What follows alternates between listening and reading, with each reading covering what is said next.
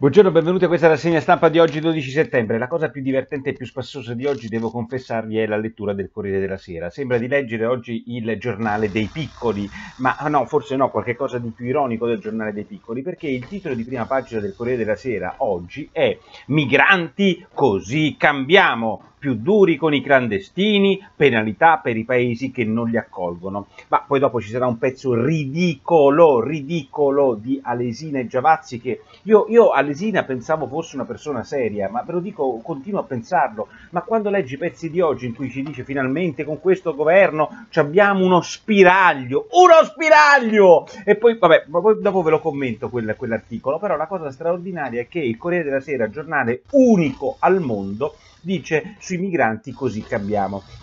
Devo dire che poi basta leggere il giornale con l'ottimo Michele Sin che dice um, invasi e contenti che vi fa capire esattamente come stanno le cose. Occorre leggere tutti gli altri giornali dello spettro italiano che vi spiegano come ieri in realtà Conte dalla Ursola non si sia portato a casa assolutamente nulla. Soltanto il Corriere della Sera sempre a pensare che abbiamo risolto il problema dei migranti perché lo stesso Conte di ieri, quello che votava il decreto di sicurezza, invece va dalla Ursola e riesce a convincerla di fare la redistribuzione dei migranti in Europa, cosa a cui non crede nessuno, ma non credono nessuno, non perché hanno come possiamo dire, un pregiudizio nei confronti di Ursula, ma perché sanno cosa è successo nel passato. Dice che nel 2015 Michele Sin ci ha spiegato come c'era una promessa dell'Europa, una promessa dell'Europa esattamente uguale a questa, che avrebbero redistribuito 40.000 40.000 migranti che arrivavano in Italia e a Malta, non ne hanno distribuito praticamente nessuno. E anche in quel caso c'era prevista una multa di 6.000 euro per ogni migrante che non avessero accolto i paesi che dovevano redistribuire. Secondo voi hanno dato delle multe a Austria, ehm, Ungheria, eh, eh, che ne so, eh, tutti i Visegrad hanno dato una multa? Zero! Zero multe! Zero, zero, zero multe! E questi del Corriere della Sera oggi fanno finta che questa roba qui di oggi sia definitiva, ma è del tutto evidente quello che avverrà. Accoglieremo, faremo, apriremo le braccia larghe, come ha detto Zingaretti ieri da Vespa, saremo più umani e poi la redistribuzione, ciao core! Magari qualche cooperativa amica di Zingaretti potrà riniziare a fare il suo business business o della sinistra queste, o della destra pure che con queste cooperative diciamo ha campato a Roma. Eh, migranti, l'Europa non ci sente, dice Repubblica, probabilmente il Corriere non capisce. Eh, e anche Nordi oggi ci spiega cosa è successo nell'ultimo consiglio di Helsinki in cui dicevano redistribuiamo, redistribuiamo, non si redistribuirà mai nulla, intanto ce le prendiamo noi e le multe non si faranno mai, tranne il Corriere della Sera ci credono tutti. Ma d'altronde oggi sul Corriere della Sera Alesina e Giavazzi,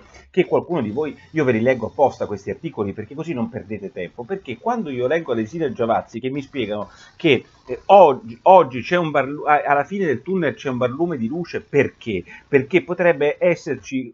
Potrebbe essersi aperto un periodo relativamente positivo per il nostro paese. Alesina! Ma tu hai capito che cosa ti fa scrivere Giavazzi? Alesina! Ma vieni un po', vieni, torna da Harvard, da dove stai, e, e vieni a seguire un po' le cose italiane. Ma tu hai capito che le infrastrutture di cui voi dite che sono necessarie nel vostro pezzo, chi era che le bloccava? Babbo Natale o il Movimento 5 Stelle? Avete capito chi ha fatto il reddito di cittadinanza? Babbo Natale o il Movimento 5 Stelle? Ma io dico, ma vieni in Italia, state, tornate un po' dalle vostre università, soprattutto Alesina, che io pensavo fosse un liberale doc, ma venite a vedere, ma veramente pensate che siano il, i cattivi con l'elmo leghisti? Io se avessi l'elmo sarebbe, sarei anche un po' meglio rispetto ai capelli che ho questa mattina, è una roba da pazzi fantastico. Ovviamente sui giornali di regime oggi non si scrive nulla riguardo alla gara dei sottosegretari. Oggi Conte vorrebbe fare i sottosegretari, ormai ha fatto il suo posto, se l'è garantito, quindi riesce a essere bello solido, ma i sottosegretari non si riesce a fare perché litigano come delle bestie, la Castelli che vuole tornare, la 30, il ministro della difesa, quella che ci ha salvato da Salvini, vuole fare il sottosegretario degli interni, la Lezzi, la donna che si è occupata del sud, non so che cosa, forse delle cazzate sulla xylella della TAP, Staff si è occupata, vuole ritornare a fare il sottosegretario, da ministro a sottosegretario. Beh, è una cosa straordinaria per cui questo gioco delle poltrone oggi nessuno lo descrive come si dovrebbe, e cioè uno scontro per le poltrone. Eh, forse il fatto oggi fa un pezzo sulle poltrone? No!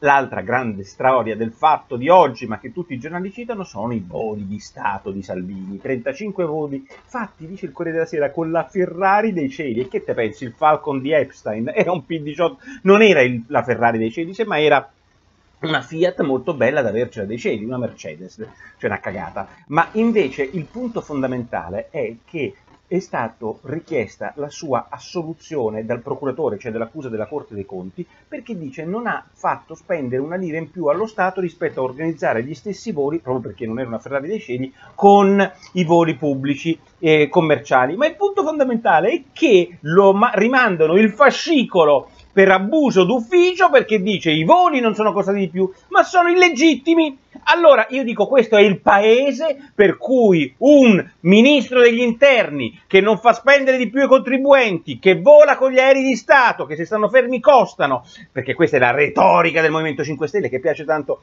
al fatto quotidiano, poi però quando Nogarin, il sindaco di Livorno, viene sì rinviato a giudizio per la strage che lo accusano aver... Ehm, aver eh, diciamo anche lui in una certa misura contribuito a fare dell'alluvione di Livorno va a finire in una notiziola a pagina 35 del giornale quindi non è ancora rinviato a giudizio Salvini ma è il grande scandalo qual è il titolo del fatto? voli di Stato ehm, com'è? Ecco perché voleva pieni poteri, questo è il motivo del fatto, cioè Salvini voleva pieni poteri per insabbiare i voli di Stato di cui la Corte dei Conti dice che è innocente secondo il giudizio di oggi, non la Corte dei Conti, la Procura, cioè l'accusa, mentre invece lo vogliono rinviare per eh, abuso d'ufficio, per l'utilizzo illegale di questa roba, illecito di questa roba. Nel frattempo Nogarina, amichetto loro, si è fatto eleggere in Europa per avere la mh, mm, immunità parlamentare che come sindaco non aveva a Livorno. Tutto a posto. Sul fronte della politica vi segnalo due o tre cose. Renzi, secondo Zingaretti, sono quegli urli alla luna che poi alla fine